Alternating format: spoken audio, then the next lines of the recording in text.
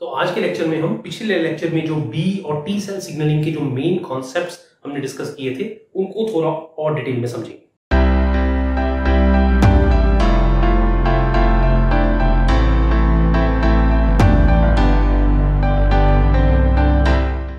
नमस्कार, मेरा नाम है रुविंदर सियाल। मैंने मिशिगन स्टेट यूनिवर्सिटी से बायोकेमिस्ट्री और मॉलिकुलर बायोलॉजी में पीएचडी की है और आज ये इम्यूनोलॉजी सीरीज़ का सतारवा लेक्चर है। अगर आपको इस सीरीज़ के पिछले लेक्चर्स देखने हैं तो आप वीडियो डिस्क्रिप्शन में दिए गए लिंक को चेक कर सकते हैं। आज मैं जब भी कोई कंसेप्ट डिस्कस करूँगा तो बताना चाहता हूँ कि साथ में टेक्स्ट बुक से ली हुई एक इमेज भी दिखाऊँगा ताकि आपको जो कंसेप्ट है वो अच्छी तरह से समझ में आ जाए। ये इमेजेस आप किसी भी स्टैंडर्ड इम्यूनोलॉजी टेक्स्ट बुक जैसे कि रॉयट है क्यूबी है जैनवे अब्बास इनमें देख सकते हैं, कोई ज़्यादा फ़र्क नहीं है। तो पहले बात करते हैं बी सेल रिसेप्टर और बी सेल सिग्नलिंग की।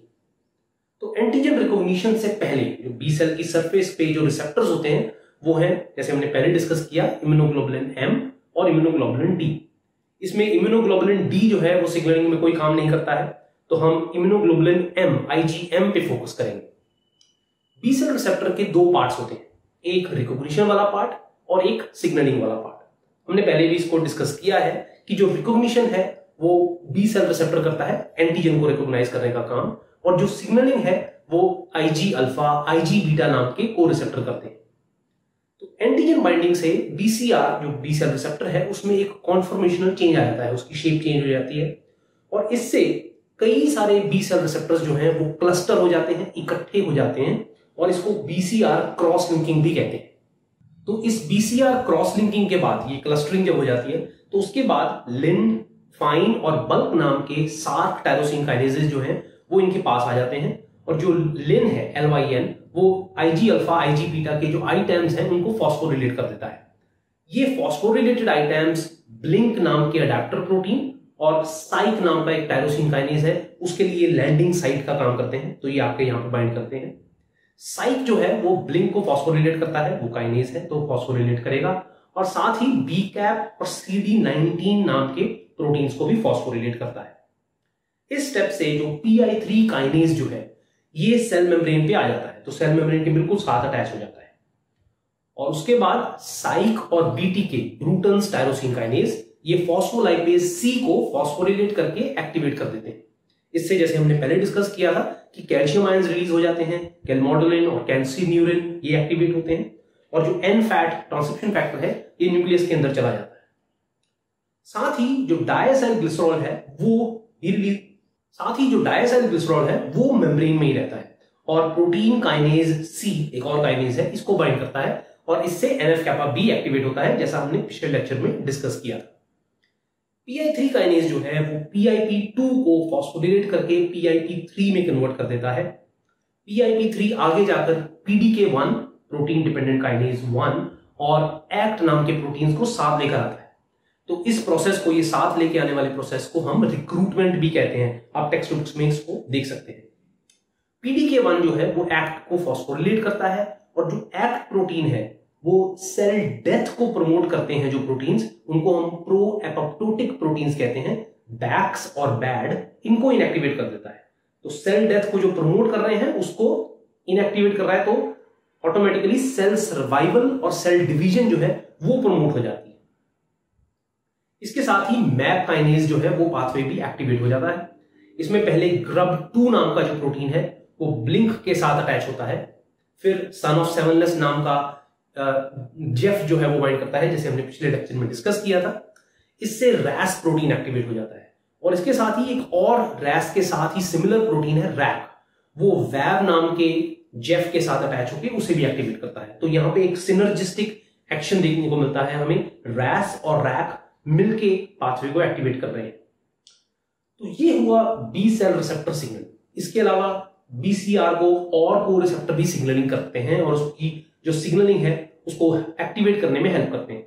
जैसे एंटीजन जो है, वो कई बार कॉम्प्लीमेंट पाथवे के C C three D component को बाइंड कर लेते हैं।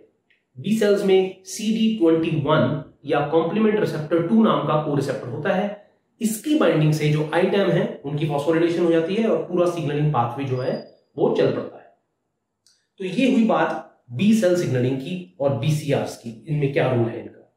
तो अब हम करते हैं डिस्कस टी सेल सिग्नलिंग को। तो मेजोरिटी जो टी सेल रिसेप्टर्स हैं, जैसे हमने पहले भी डिस्कस किया था कि वो अल्फ़ा बीटा टाइप के टी सेल रिसेप्टर्स होते हैं गामा डेल्टा पाँच परसेंट होते हैं, ये नाइन्टी फाइव परसेंट होते हैं। इनका जो स्ट्रक्चर है वो बीसीआर बी सेल रिसेप्टर से काफ़ी मिलता जुलता है। यहाँ भी टी सेल रिसेप्टर में आपको वेरिएबल डोमेन मिलता है और इसमें तीन हाइपर वेरिएबल रीजन होते हैं।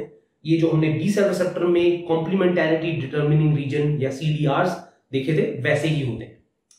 बीसीआर की तरफ़ जो टी सेल रिसेप्टर्स हैं, उनकी भी साइटोप्लाज्मिक टेल्स काफ़ी छोटी होती हैं और सिग्नलिंग के लिए इन्हें सी थ्री प्रोटीन जो कॉम्प्लेक्स है, उसका सहारा लेना पड़ता है। सी थ्री कॉम्प्लेक्स में तीन डाइमर्स होते हैं मतलब दो दो प्रोटीन मिलके एक कॉम्प्लेक्स बना रहे हैं। तो ये है डेल्टा एप्सिलॉन, गामा एप्सिलॉन और जीटा जीटा। इन सभी प्रोटीन्स की जो साइटोप्लाज्मिक टेल्स हैं, उनमें आईटैम मोटिव होते हैं, जो फॉस्फोरिलेट होते हैं। टी सेल्स के दो और इंपॉर्टेंट को रिसेप्टर्स होते हैं सीडी फोर और सी डी एट इनमें सीडी फोर जो है, वो हेल्पर टी सेल्स में पाया जाता है और सी डी एट जो है, वो किलर टी सेल्स में पाया जाता है। सी डी फोर जो है, वो मोनोमेरिक होता है और जो सी डी एट प्रोटीन है, वो हेट्रोडाइमर होता है। वो दो अलग अलग प्रोटीन मिलकर एक डायमेरिक कॉम्प्लेक्स बनाते हैं। ये दोनों एमएचसी पेप्टाइड कॉम्प्लेक्स जो है, जो टी सेल रिकॉग्नाइज करता है, उसमें हेल्प करते हैं। लेकिन सी डी फोर और सी डी एट जो है, वो नईव टी सेल को एक्टिवेट नहीं कर सकते। ये बहुत इंपॉर्टेंट बात है। इसके लिए टी सेल रिसेप्टर और सी डी ट्वेंटी एट ओ रिसेप्टर को साथ में स्टिमुलेट करने की ज़रूरत है। पिछले लेक्चर में हमने डिस्कस किया था कि जो टी सेल्स हैं, उनमें एलसी के लक नाम का टायरोसिन काइनेज होता है। ये टी सेल सिग्नलिंग में एक्टिवेट होने वाला पहला टायरोसिन काइनेज है। नॉर्मली जो लक है एलसी के प्रोटीन ये सी फोर या सी के साथ अटैच होता है।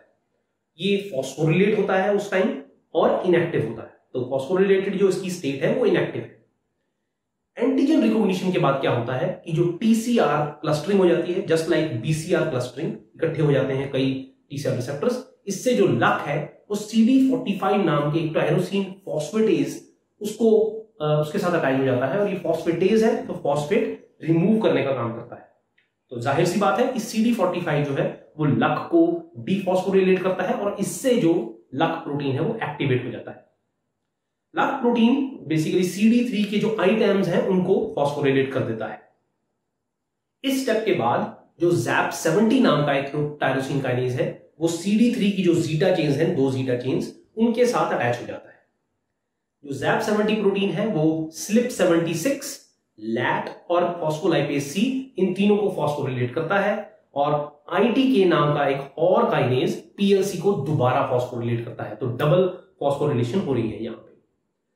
पीएलसी जो है, वो पीआईपी टू को, जैसे हमने पहले डिस्कस किया आईपी थ्री और डीएजी में तोड़ देता है। आईपी थ्री एनफैट को एक्टिवेट करता है तो ये एनफैट पाथवे एक्टिवेट हो गया। जो डायसेल ग्लिसरॉल है, वो एनएफ कैपा बी पाथवे जो जो है, उसको एक्टिवेट करता है, वो भी हमने डिस्कस किया है। और फाइनली जो रैस पाथवे है वो भी एक्टिवेट हो जाता है।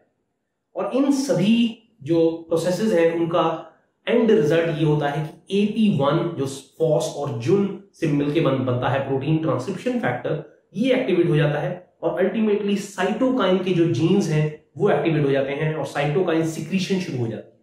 इससे इम्यून सिस्टम की जो सिग्नलिंग है उस पर काफ़ी इफ़ेक्ट पड़ता है। तो साइटोकाइंस कैसे काम करते हैं? ये हम एक पिछले लेक्चर में अच्छी तरह डिस्कस कर चुके हैं। आप उस लेक्चर को दोबारा देख सकते हैं, अगर आपको कोई डाउट हो। तो आज के लेक्चर में हमने बी और टी सेल सिग्नलिंग को डिटेल में डिस्कस किया है। मुझे उम्मीद है कि आपको आज का लेक्चर जो है वो यूजफुल लगा होगा। अगर आपको कोई भी डाउट या क्वेश्चन है तो कमेंट्स में ज़रूर पूछिए। अगले लेक्चर में हम बी सेल की जो डेवलपमेंट है और डिफ्रेंशिएशन है, उसको डिटेल में डिस्कस करेंगे। तो जल्दी ही मिलते हैं अगले लेक्चर में। Thank you